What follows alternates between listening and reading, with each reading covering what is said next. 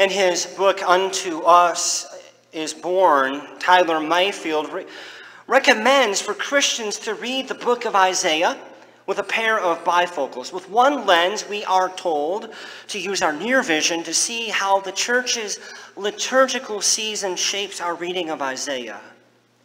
And with the other lens, we are to use our far vision to see how our understanding of Judaism influences our reading of Isaiah.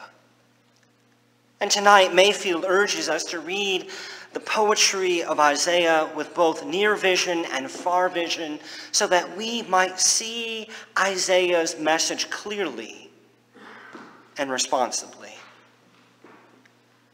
On Christmas Eve, the church unrolls the scroll of Isaiah, and our eyes land on the familiar words The people who walked in darkness have seen a great light. Those who lived in a land of deep darkness, on them light has shined. The beautiful poem is full of vivid imagery, but remains virtually empty of historical markers to events or actual people. Such poetry keeps professional and armchair historians busy searching for clues.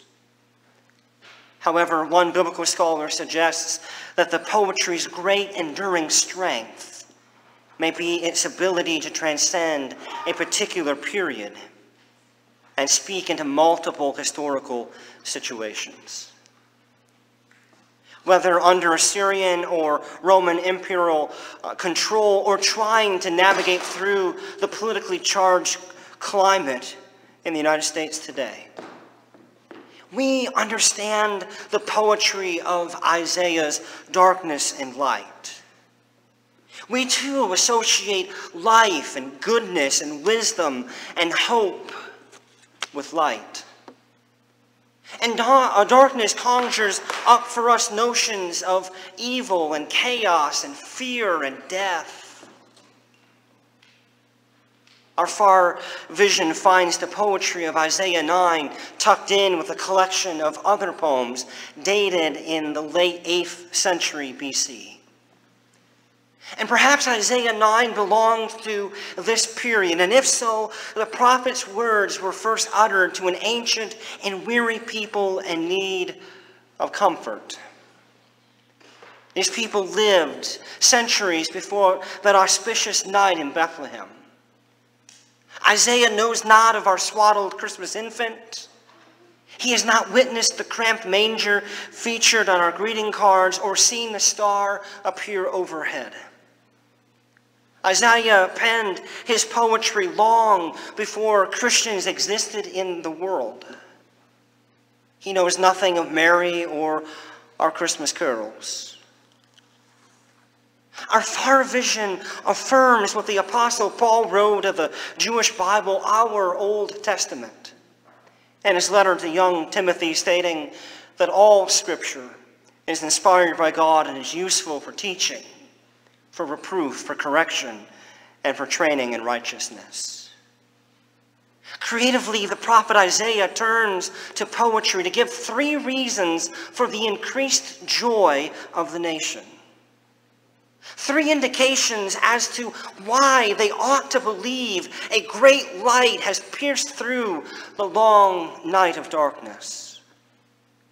Three concrete explanations why the people ought to rejoice as people rejoice at the harvest. Isaiah proclaims, first, that their oppression has been broken. Second, weapons will be destroyed. And third, the birth of a child. What is obscured by many of our English translations is that most of the verbs in Isaiah's poem are written in the past tense, an already completed act. And for the Jews, they heard that when they heard the people who walked in darkness have seen a great light, those who have lived in a land of deep darkness, on them a light has shined. When they heard these words, they logically concluded that God heard their cries of hopelessness and despair. and that God had sent them King Hezekiah to illuminate the dark world with God's hope and new life. In other words, the poetry of Isaiah 9 functions as part of the coronation for this new king as they honor him as wonderful counselor and prince of peace. These are the kinds of qualities Judah seeks of the one enthroned over them. But as Judah honors their God appointed king, they simultaneously lift up the name of the Lord, who has proven over and over to be a faithful and mighty God. The Old Testament is replete with stories that celebrate the many ways God has protected and defended the chosen people. God has a long track record of caring and providing for Judah as a good and everlasting father would their children. And when we look at the poetry of Isaiah 9 with far vision, we can affirm this to be an acceptable and valid and responsible interpretation. Leaving us with a question such as, how will we help the new king promote endless peace?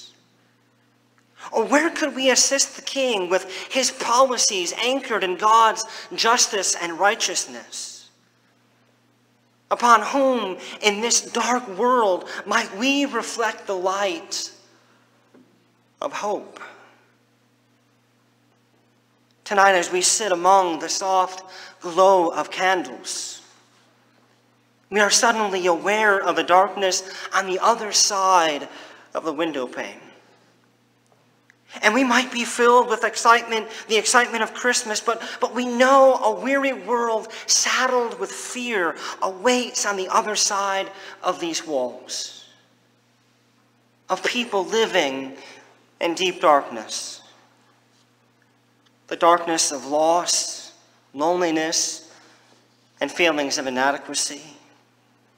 The darkness of a current crisis or an anticipated one the darkness of a confused or wavering faith.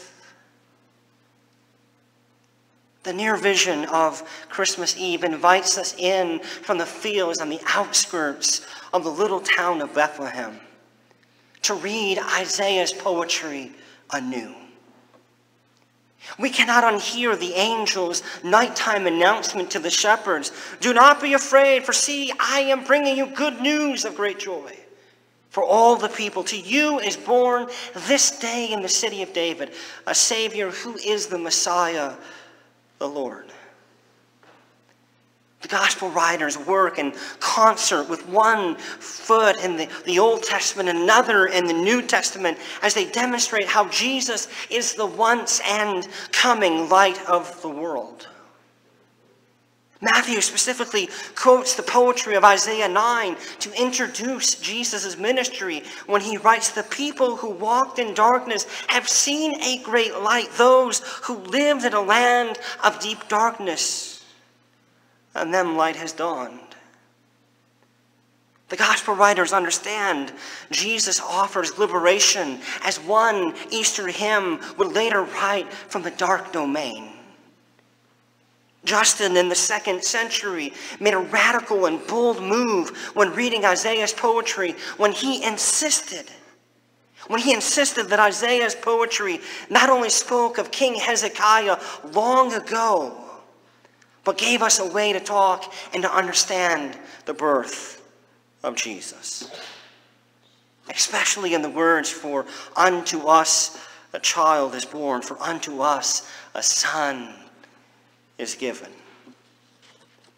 On Christmas Eve, the church marches out one Christmas carol after another, helping us to understand Isaiah's poetry with the near vision of our Christian faith.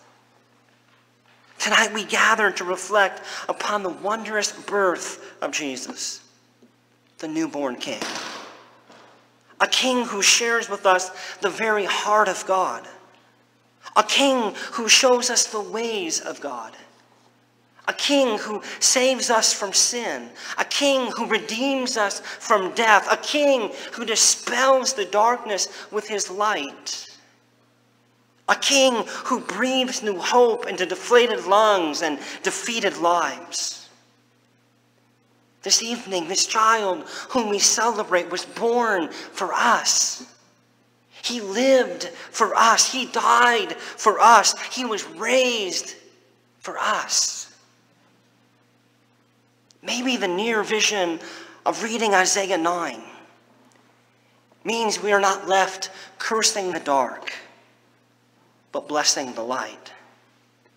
Perhaps it means that as we work to establish God's justice and righteousness in our community and promote God's peace in the world, a peace that surpasses all our understanding, that we, like Mary and the shepherds of old, might find ourselves this evening lost in wonder, love, and praise, reflecting the light of God's love and grace not only among ourselves, but to a people who walk in darkness. I offer this to you this evening in the name of the Father, and of the Son, and the Holy Spirit. And all God's people said,